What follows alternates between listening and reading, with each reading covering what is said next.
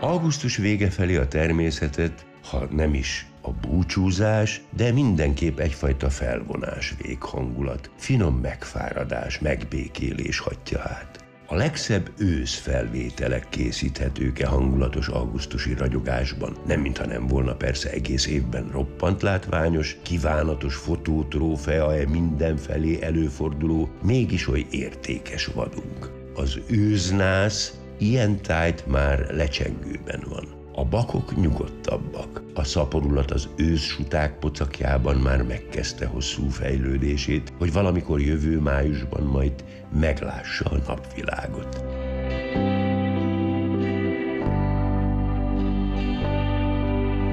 E fényben gazdag, de már kellemesen színmeleg nyárvégi hetekben a muflonok is legszebb, mondhatni prospektus szépségüket mutatják nem is beszélve a rókákról. A kíváncsi kis ravaszdi látványos bundája augusztusban pompázik a legszebben, hisz ez az a fény, mely minden vörös árnyalatot kellő erővel hoz elő.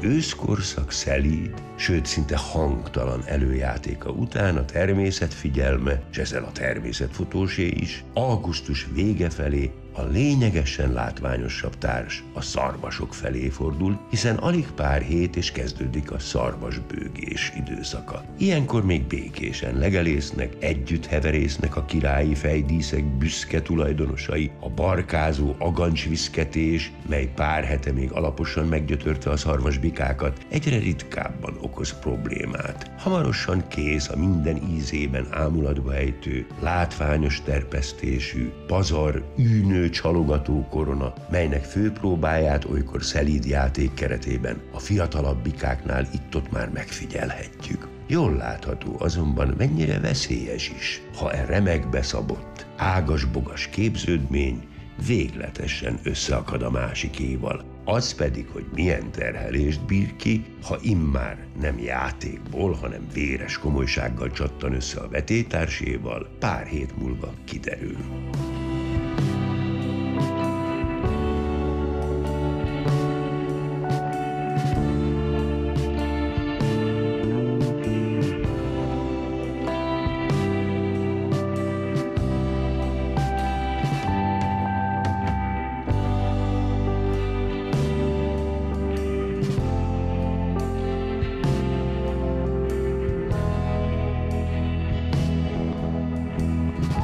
Az év nagy attrakciója a viharos, forró, bőkezűen gyümölcs és legelőteremtő, végtelen energiákkal pompázó nyár búcsúzik. Most következik a vörösbe hajló, aranyló lombok, a nagy átalakulás időszaka, mikor az élet még egyszer összegyűjti a leggazdagabb színeket, hangokat, eseményeket, szinte kódává fonva őket a következő két hónapban. A fekete-fehér, ködös novemberi meglassúdás, majd a mindent és mindenkit próbára tevő, szigorú tél érkezése előtt.